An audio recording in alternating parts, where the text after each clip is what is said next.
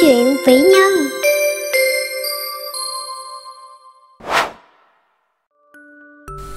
Giá trị của sự tập trung Giáo sư vật lý nổi tiếng George Gay đang tuyển phụ tá cho mình khi nghiên cứu lĩnh vực truyền điện tính. Rất nhiều người đến ứng tuyển và họ chọn cho mình những bộ quần áo sang trọng nhất. Họ đều phải chờ ở phòng ngoài cho tới khi được vị giáo sư mời vào phỏng vấn. Trong khi chờ đợi, họ tán gẫu và cố gắng thể hiện kiến thức của mình. Chỉ có một chàng trai trẻ ngồi yên lặng, chú tâm quan sát phòng làm việc của George Gay. Anh đã theo dõi sát sao những công trình nghiên cứu trước đó của vị giáo sư này và rất muốn góp sức với ông. Nhiều giờ trôi qua, cửa phòng thí nghiệm vẫn đóng. Ngôi nhà vẫn ngồn ngào những tiếng tranh luận. Bỗng chàng trai đang ngồi im lặng khi nãy khẽ mỉm cười, đứng dậy bước vào phòng thí nghiệm của giáo sư.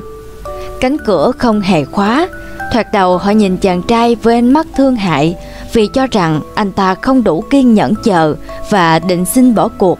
Nhưng không lâu sau, tất cả mọi người đều bất ngờ khi thấy giáo sư George từ phòng thí nghiệm bước ra cùng chàng trai trẻ.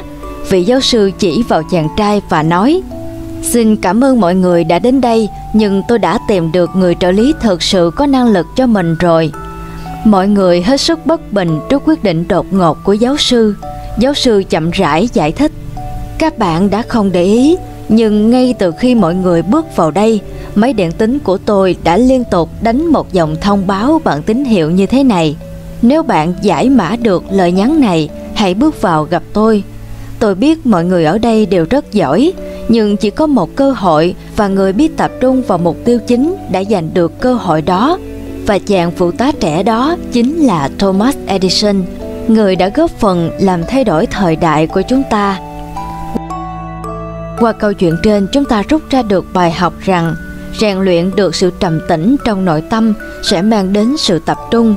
Để có được sự trầm tĩnh đó, ta phải chú tâm quan sát, không lơ là, dù là những việc nhỏ nhất như rửa chén, quét nhà, nấu ăn. Khi có được sự tập trung, trí tuệ sẽ phát triển, cuộc sống sẽ ngày càng tốt đẹp và an vui hơn. Chúng ta hãy cùng nhìn sâu vào nhân quả. Người biết tập trung quan sát sự vật chung quanh, quả là tăng sự nhạy bén, mau tiến bộ. Người nghiêm túc với công việc, quả nhận được là công việc có kết quả cao, được tín nhiệm. Chúng ta hãy cùng ôn tập lại qua câu hỏi tư duy. một Trong khi mọi người đang mãi mê phô trương kiến thức thì Edison làm gì?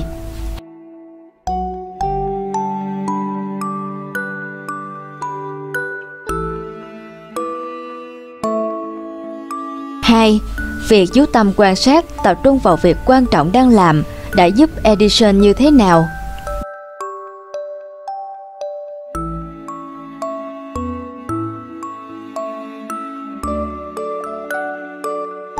Ba, khi làm một việc nếu ta tập trung chú ý, thì sẽ có được kết quả như thế nào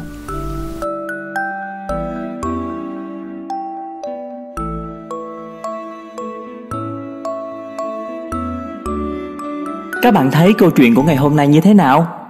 Nếu bạn thấy bản thân nhận được điều gì bổ ích từ những câu chuyện này, thì hãy cho chúng mình biết trong phần bình luận phía dưới nha.